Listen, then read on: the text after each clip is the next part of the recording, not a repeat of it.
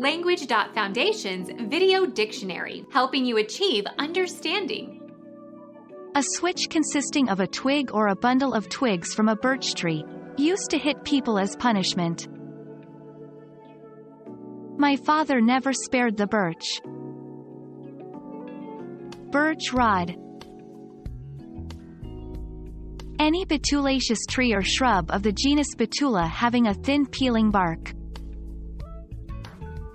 Birch tree.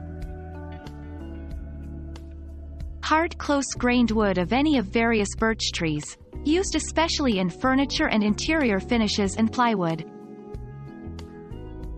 Consisting of or made of wood of the birch tree.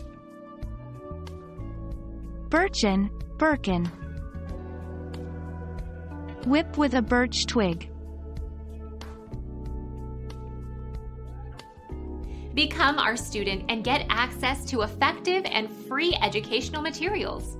Subscribe to our channel to become a part of our growing community and to learn English effectively.